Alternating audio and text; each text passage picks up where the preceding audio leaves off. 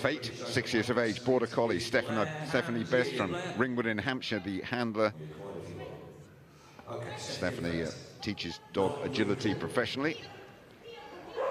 Fate came third last year in the championship final, also won the British Open last year, so a combination to be watched here, Stephanie Best and Fate. This is good so far. Not wasting any time clearing those jumps. This is really right up with it. Exceptional. In front of us, tight left-hander back through that tunnel.